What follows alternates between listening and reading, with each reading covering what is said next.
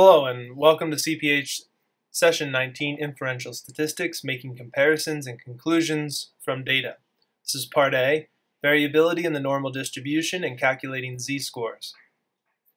In this section we'll talk about what the normal distribution is and how to calculate normal or Z-scores and also what we can do if data is not normally distributed. So before we get started, I'd just like to demonstrate to you what we can do with inferential statistics. And let's go back to the example of the Virginia Republican primary exit poll results that we looked at in session 18.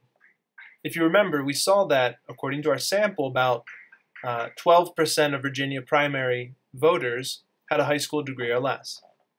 However, we only sampled 1,523 voters out of the more than 1 million.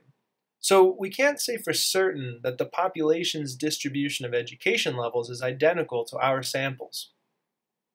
Instead, we have to acknowledge that there is some margin of error. In fact, we expect that the true proportions may lie within these bounds that are shown here on this figure. The margin of error represents our uncertainty in the situation and it will be an important foundation for inferring conclusions about our data. And we'll talk about sampling variability and uncertainty in parts A, B, and C of this session. I'd also like us to look back at how those education levels were distributed among the five candidates at that time. We observe that it looks like there is some difference in voter preference among the education levels. For example, uh, less educated voters seem to prefer Trump. Uh, with inferential statistics, we can try to answer the question of, is the choice of candidate different among the education levels? And to answer that question, we have to calculate those dreaded p-values. Um, and it turns out that when we do that, that for Trump, Rubio, and for Kasich, our so-called p-value is low. And that allows us to say that the differences in voter choice among education levels is probably not due to random chance or sampling variability. And so the difference that we see in our sample may, in fact, be something that's real in the overall population. And that activity there is uh, in a field that's called hypothesis testing. And We'll cover those concepts in parts D through G. Okay, so let's now start with part A. We'll start by looking at the normal distribution.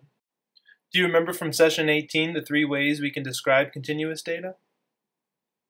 Hopefully you recall that we can describe its location or central tendency, its dispersion or how spread out the data is, and its shape. And I mentioned at that time that we can use theoretical functions known as probability density functions, or PDFs, to describe the ideal shape of our data. And in fact, there are many PDFs described in literature. However, the, the most famous is the normal distribution function.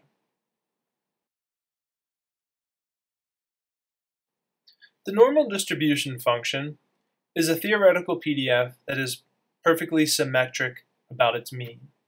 In this case, the mean is 0, so it's perfectly symmetric on either side of 0. And secondly, it has a shape that looks like a bell. Uh, it was first described by Carl Friedrich Gauss, so you may even see it referred to as the Gaussian distribution. Its simplicity lies in the fact that we only need two quantities to define a normal distribution. The mean and the standard deviation. We use the population means and standard deviations here because we're theoretically defining the distribution of the entire population. And here's the equation for the normal distribution function. The value y here is equal to this function's formula at any given value of x.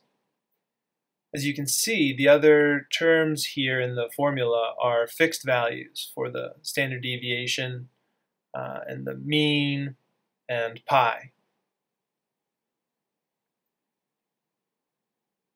And if we increase the mean, the curve shifts to the right. Uh, if the mean decreases, the curve shifts to the left. If we increase the standard deviation, the curve stretches out. And if the standard deviation decreases, the curve is compressed. So you can see we can create an infinite number of normal curve configurations. And the value of y shown in green here is the theoretical probability of observing a value x in our theoretical probability model. But more importantly, the area under the curve, such as this one, that goes from the value 1.5 to the value 2.5, is the theoretical proportion of observations we would expect between those two values. Now here we have a population mean of 0 and a population standard deviation of 1, and that generates this normal curve that we see. In fact, this is called the standard normal curve, and we'll come back to it later. And the area, so the area here that's shown, it's shaded, represents the proportion of observations that we would expect on average to be between 1.5 and 2.5. So I ask you, can you estimate that area? What would you say the area under that curve that's shaded is?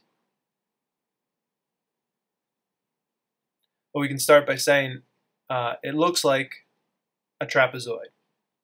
Uh, so the base goes from 1.5 to 2.5, so it's a base length of 1. Um, and the average uh, height of that trapezoid is maybe about 6 or 7%. So 1 times the about 6 or 7%, we'd say maybe that area is about 6 or 7% probably. It turns out when I compute the exact area under the curve using the normal distribution function, I find that the answer is just about 6%. So in other words, we would expect on average to see about 6% of our observations fall between those values of 1.5 and 2.5 using this theoretical model. Um, keep in mind, though, that normal curves are theoretical and no real data is truly perfectly normally distributed. Uh, the tails have no ends, and they actually stretch to infinity. But as you get beyond three or four standard deviations, uh, it has really tiny probability values, very close and near to zero. Now, uh, some data is approximated well by the normal curve. If we, say, measure blood pressure within a sample of 113 men and perform descriptive statistics, we might find that the sample mean uh, is 123 0.6 millimeters mercury, and that the sample standard deviation is 12.9 millimeters mercury. If we superimpose the normal curve using those values uh, measured in the uh, in the sample as the assumed population means and standard deviation, if we impose that on the histogram, we would see this. And here we can see that the normal curve does closely follow what we see in the histogram. On the other hand, if we record the length of stay in a hospital for 500 patients and do the same thing, we would see that the normal curve does not approximate this data set very well. It's skewed to the right. So it's important that before we try to apply principles of inferential statistics, it's important that we look at the shape of the data. Many techniques in inferential statistics inherently assume that the data is normally or nearly normally distributed and if our data is not, we are misusing the approaches that I'm going to present to you in these coming parts. I will, however, give you a bit of a workaround for that situation at the end of this part A. Okay, so now that we know what the normal distribution is, let's use it to calculate the normal, or z-scores. Uh, we could also say that we are standardizing our data. In summary, z-scores tell us how many standard deviations away from the mean any given observation is. Let's take a simple example. If we uh, say that we have a sample and the mean of that sample is 2 and the standard deviation is 0.5. What is the z-score of one of our observations whose value is 3? Well, we can see that if we start at 2, which is the mean, and we move one standard deviation, we get to 2.5. If we move another standard deviation, we get to 3. So we can see that 3 would be 2 standard deviations away from the mean. So the z-score is exactly 2 in that case. So the formula for z is this. A z-score is computed uh, as the observation minus the mean divided by the standard deviation. So in my example, we see that it's 3 minus 2, which is the mean, divided by the standard deviation of 0.5, and that's how we get to 2. Uh, in other words, the z-score is 2, and our observation is exactly 2 standard deviations in the positive direction away from the mean. And the z-score allows us to look at where our observation occurs along the standard normal curve that I showed you earlier. And using that, we can see the area under the curve and make inferences about the data, that data point. Uh, we do this using tables that are available in, in textbooks, they're available online, and they might look like what I'm showing here. Um, we can also find these values using functions in Excel or any stats program like Stata. Um, so in my case, I found that the z was 2.0. So I look at this table and I say that 97.72% of observations can be expected to be less than that observation, less than 3. Now, if I wanted to get this answer in Excel, we could use the formula norm.dist for normal distribution. So its syntax requires four inputs. One, two, three, four. Okay. First, we need our observation value. We need the mean. We need the standard deviation. And then we need a logical argument. So in that last input, we enter either true or false. If we want Excel to tell us the value of the normal curve function, meaning the height of the curve, then we would put in false there. If we want the cumulative area under the curve, like what's shown here, uh, and we can also call that the cumulative distribution function, or CDF, then we would enter true.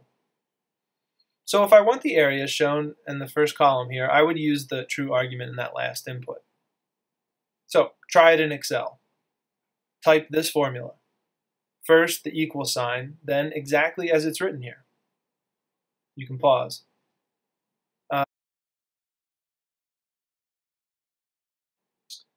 So what I'm doing here is asking Excel, hey, if I have a population with a mean of 2 and a standard deviation of 0.5, what's the area under the curve less than the value of 3?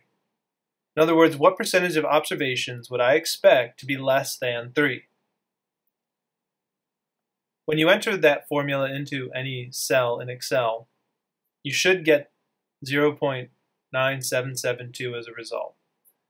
And that's where that 97.72% comes from.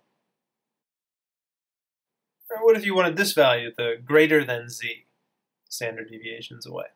Well, you just type 1 minus that same formula into Excel. Okay, so we can use z-scores just like this, but I'll show you how this concept can be extended to define confidence intervals and do hypothesis testing in the upcoming parts of this session 19. But one more thing before I end part A.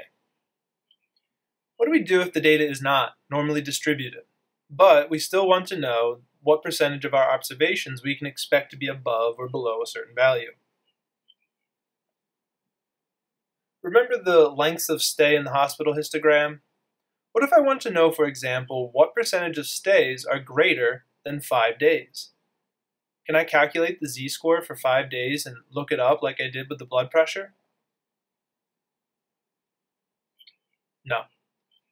Our data is not normally distributed, and the z-score is based on the assumption that the data is normal. So we will not use z-scores in that case. Instead, we can apply the idea of percentiles that we saw in session 18.